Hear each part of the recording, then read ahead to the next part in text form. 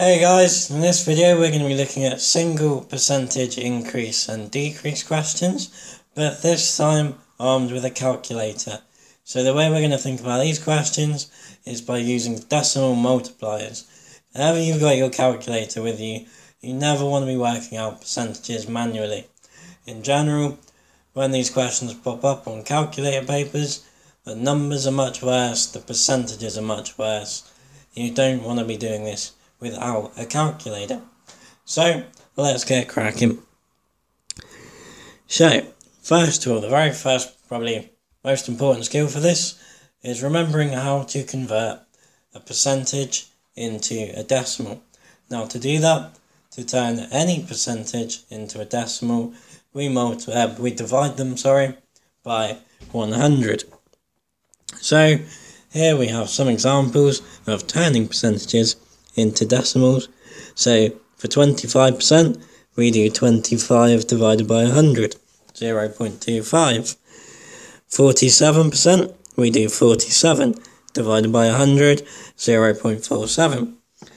78.2%, we do 78.2 divided by 100, 0 0.782. 5%, we do 5 divided by 100, 0 0.05. 1.3%, we do 1.3 divided by 100, 0 0.013.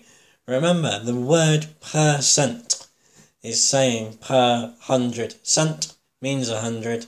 So when we're saying something per cent, we are saying that number divided by 100. Cool.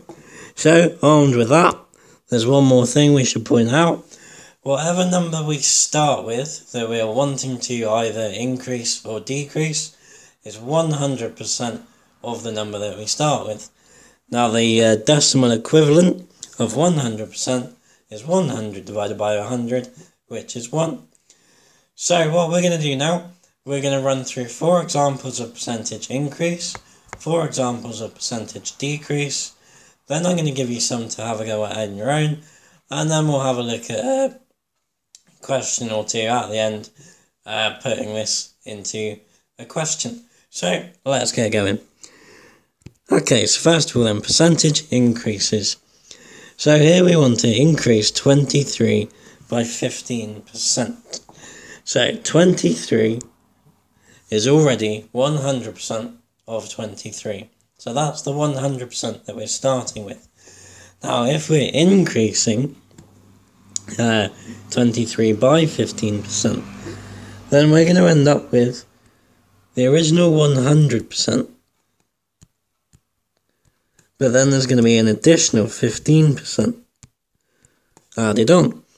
Now that's going to give us 115%. So we need to find 115% of 23 then, which now we use our decimal multipliers. 115 divided by 100 is 1.15. So we're going to do 1.15 times 23. Now stick that into your calculator and you will get 26.45. Jobs are good in. So 23 increased by 15% is 26. 0.45. Okay, question 2. Increase 61 by 2.4%. So here, 61 is the 100% that we start with. So we're starting off with 100%, then we're increasing it by 2.4%. So 100% at 2.4% is 102 0.4%. So we want to find 102.4% of 61.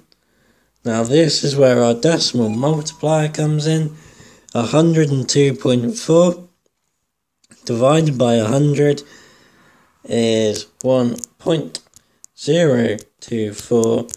So we're going to do 1.024 times 61 and that gives us 62 62.464. Cracking. Okay, the next two. Increase 150 by 26.9%. So, the 150 is our original 100%. We are increasing by 26.9%. So 100% Uh, add 26.9% is equal to 126.9%. So, to find 126.9% of 150, we use the decimal multiplier. So 126.9% as a decimal is 1.269. So we multiply that by 150. Smash that in your calculator. Make sure, play along with the video, make sure you do get the same answers. We will get 190.35. Jobs are good. Okay, our final increase question here. Increase 54 by 9%. So, the 54 is the 100% that we're starting with. We want to increase it by 9%. So, 100% add 9%. Well, that's going to give us 109%.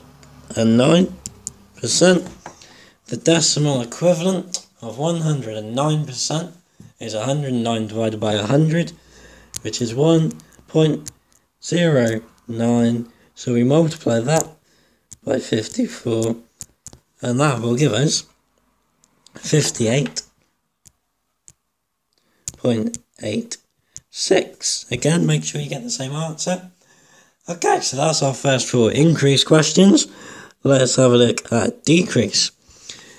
So, whereas with increasing questions, we added the percent on to 100%, when we decrease, we subtract the percentage from the original 100%.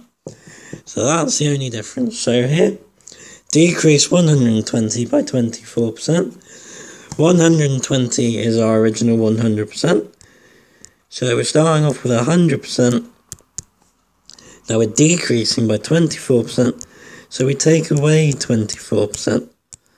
And that leaves us with 76%. Now we use the decimal equivalent of 76%, which is 0.76. So we do 0.76 times 120, and that leaves us with 91.2. Jobs are good. Okay, the second example, decrease 34 by 7%. So again, the 34 is our original 100%. So here we're doing 100% minus 7%. That's going to leave us with 93%. Now we find our decimal equivalent of 93%, which is 0 0.93. So we do 0 0.93 times 34 and that gives us 31.62. Again, play along, make sure you get the same answer as me with your calculators. And then we'll do another two decreases. Okay, so decrease 46 by 1.5%. So, 46 is our original 100%. We want to decrease by 1.5%. So we take 1.5% away. Now 100 take away 1.5 is 98.5. Running out of room here. Okay, so we're finding 98.5%. Now, the decimal equivalent of 98.5% is 0.985. So we do 0.985 times by 46 and that's going to give us 45.31. Again, make sure you get the same answer and then let's do the next one. So decrease 268 by, that U should be a Y, decrease 268 by 19.5%. So let's start writing off over here instead. So we want to do 100%, which is our 268, take away 19.5%. Now that will leave us with 80.5%. So we're finding 80.5% of 268. Let's divide 80.5 by 100. We get 0 0.805 times that by 268. Smash that in your calculator and make sure you get 215.74. Okay, so that's how we do percentage decreases. Now on the next page, I'm going to be forced to have a go at by yourself. So pause the video, see how you get on with those four questions, come back, press play, Ah, and then hopefully you will get these answers. So increase 52 by 12%, 58.24. For that one, you would have wanted to do 52 times 1.12. Increase 130 by 17.5%, 152.75. For that, you wanted to do 130 times 1.175 decrease 320 by 35%. For that one, uh, to get 208, you would have wanted to do 320 times 0.65. And then the final one there, decrease 24 by 2.5%. To get 23.4, you wanted to do 24 times 0.975. Okay, now we're going to look at some um, examples of this in context. Okay, so here we have a typical exam type question. So a shirt costs £23, but is about to have 16% taken off in a sale. Work out sale price. So, 100% of the original price is £23. The original price is being reduced by 16%, so it's a percentage decrease. We're doing 100% minus 16%. That would leave us with 84%. So now let's find the decimal equivalent of 84%, which is 0.84. So we do 0.84 times 23 pounds, and that gives us 19 pounds 19 pounds 32p jobs are good okay let's look at one more. So Toby's phone bill was £31 in August and increased by 9.5% in September. Work out his bill in September. So, the original 100% is £31. Now it's increased by 9.5%. So we're going to do 100%, add 9.5%, 100 add 9.5 is 109.5. So, let's find the decimal equivalent. That would be 1.095. Multiply that by 31 pounds. Now, if we put that into our calculators, we will get 33, 33.9 four, five.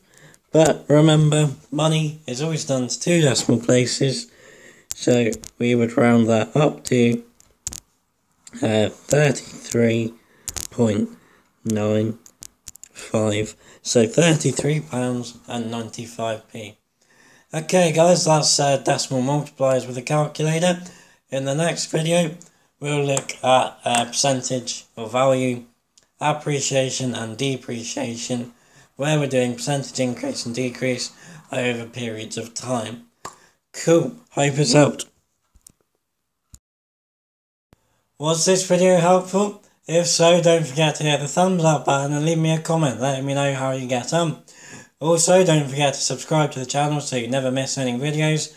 For any further information, you can find me on Facebook or Twitter. Search for Maths with Melv. Cheers, guys.